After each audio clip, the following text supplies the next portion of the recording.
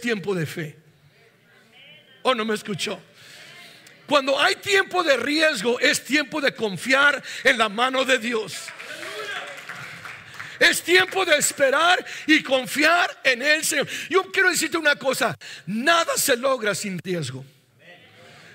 Todo lo que es de valor en la vida se toma riesgo. 1900, el día 21 de junio de 1986, tomé uno de los riesgos más grandes. Me casé.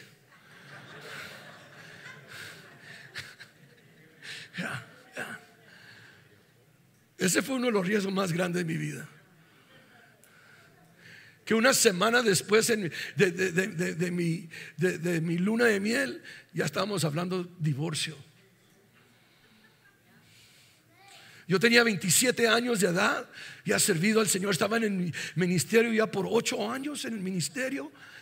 Y yo dije, me casé para esto, para fracasar. Yo pensaba que todo iba a ser una luna de miel. Fue una luna de hiel.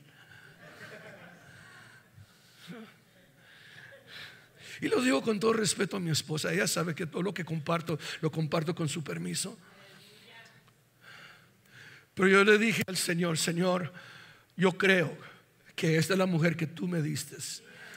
Y yo creo en mi matrimonio y yo creo en tu palabra y creo en tu promesa.